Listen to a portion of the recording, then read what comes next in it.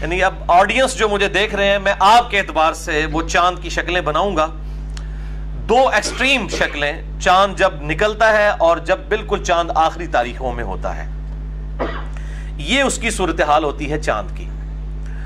ये जो आपके दाएँ जानिब है, ये चाँद जब निकलता है तो इस शक्ल में नज़र आता है जिसका पेट जो है वो राइट साइड के ऊपर होता है। तो आपको यूँ चाँद नज़र आएगा। और बिल्कुल बारीक और फिर आहिस्ता आहिस्ता ये बढ़ना शुरू होगा, ये सेंटर तक पहुंचेगा, सातवीं तारीख को, फिर जब चौदह तारीख होगी, ये तो पूरा गोल हो जाएगा और फिर इस तरफ़ से गोल कम होना शुरू होगा, फिर ये 21 तारीख को इसका हाफ़ बनेगा सेमी सर्कल और एंड पे ये चाँद जो है वो यहाँ पर बारीक, बिल्कुल एंड पे जाकर हो जाएगा।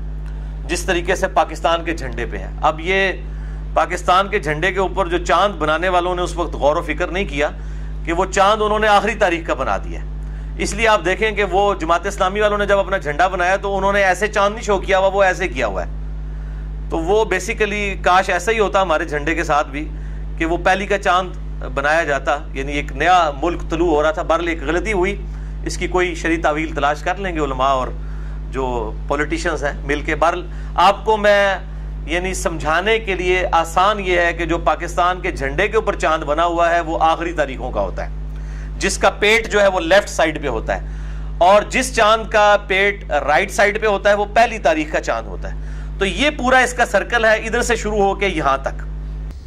जो है वो इस एंगल के ऊपर जो नज़र आएगा ना आपको चाँद वो पहली का होगा।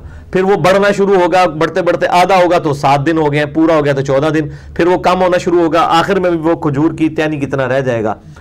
तो इससे आपको इस अंदाज़ा हो जाता है तारीख कौन सी चल रही है। आप अंदाज़ा लगा सकते हैं, और उसके रुख से भी।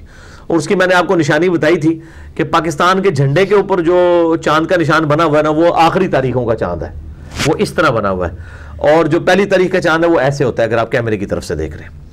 तो मैंने कहा था, इसकी कोई ना कोई तोजी तलाश की जाए कि उस वक्त झंडे के ऊपर ये क्यों किया? तो एक बंदे तोजी वैसे तलाश कर ली, उन्होंने कहा, जी, वो सताई रमज़ान नो, पाकिस्तान आज़ाद हो सी तो सताई रमज़ान तक जरा ना वो वो चंद यही वाला पड़ता है। चलो, देखे लोगों ने, वो कह रही थी आखिरी का चाँद इसलिए था। तो मेरा पॉइंट ऑफ़ व्यू ये था कि दूसरे वाला चाँद होता कि एक नई सल्तनत, इस्लामी सल्तनत जो है वो दुनिया के ऊपर उसका एक अरूज आया है, वो जवाल वाली ना होती। तो दोनों तरफ़ तावील मुमकिन है।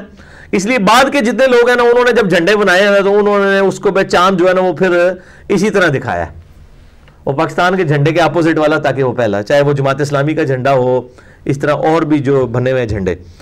तो बहरल दोनों तरफ़ तावील मुमकिन है, और जब तावील हो सकती है तो ये कोई शरी मसला उसमें, कोई कबात वाला नहीं है।